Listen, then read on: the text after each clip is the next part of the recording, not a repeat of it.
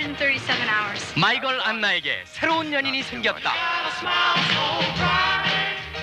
마이걸 그 두 번째 이야기. 맥컬리 컬킨이 같다고 혼자 살순 없잖아. 전편보다 사랑은 더 깊어지고 감동은 더 커졌습니다. 가족과 함께 친구와 함께 연인과 함께 보세요. 마이걸 그 두 번째 이야기.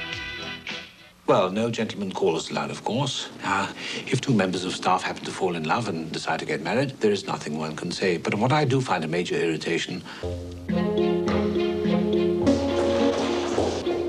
For the past 30 years, this has been the world of Stevens the butler.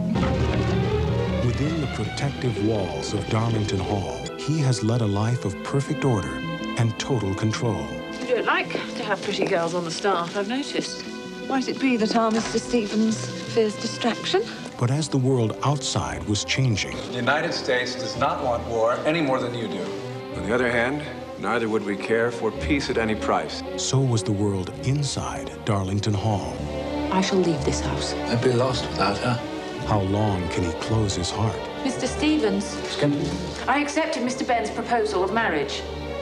you have my warmest congratulations. to what he feels inside. Columbia Pictures is proud to present a James Ivory film. Academy Award winner Anthony Hopkins, Yes.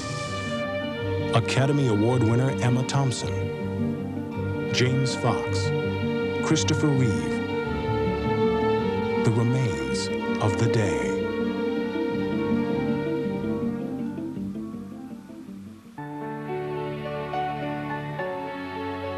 After a lifetime in the public eye, former First Lady Tess Carlisle retired to her Ohio home. But she did not go quietly. What do we look like? Waiters? Are we a bunch of waiters? Just ask the Secret Service agent. Several different personalities in one.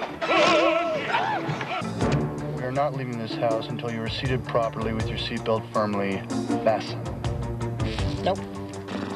It's the worst assignment there is. I need a price check and LeSueur baby peas. They're on special today, two for 59. Would you be kind enough to get my ball? I'm a Secret Service agent, Mrs. Carlisle, not a caddy. I told her, you want that ball, you go find it yourself. Come on. What are you, crazy? I'd be very careful if I were you, Agent. Doug, telephone. Please hold for the president. How are you? I'm, I'm fine, and you? Go.